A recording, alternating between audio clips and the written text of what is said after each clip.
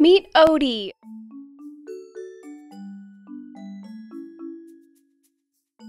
Odie is a four year old border collie, so he has lots of energy.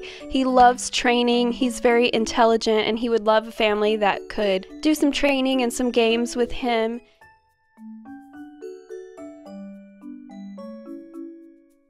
He is ready for adoption at the Humane Society of Utah.